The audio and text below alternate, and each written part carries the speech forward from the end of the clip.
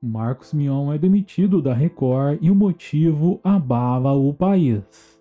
Mas antes da gente começar a matéria, inscreva-se no canal e deixe seu like e seu joinha. O maior apresentador da história de A Fazenda, o então Marcos Mion, após 11 anos de serviços prestados para a emissora. Marcos Mion é demitido da Record. De acordo com informações do cronista Flávio Rico, que revelou que o contrato do apresentador venceria até o final de dezembro deste ano. Mas a Record resolveu antecipar a saída do apresentador e rescindiu o contrato com Mion. Lembrando ainda que A Fazenda 12 foi um grande sucesso no ano passado. E essa notícia deixou muitos internautas tristes.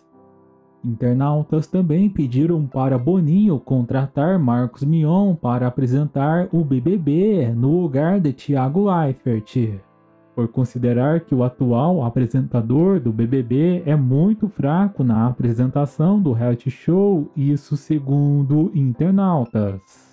Boninho ainda não respondeu aos pedidos de contratar Marcos Mion para o BBB.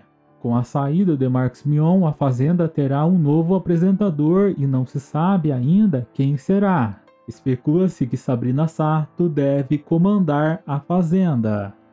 Agora, de acordo com informações de Fefito do portal UOL, que revelou que a relação de Marcos Mion com a direção da Record estava muito ruim. Isso porque Mion chegou a chorar por conta de diversos erros na apuração das provas em A Fazenda no ano passado. A direção da emissora não gostou nada, nada de Mion ter dito em uma entrevista que foi ele que trouxe o patrocínio do TikTok para a Fazenda.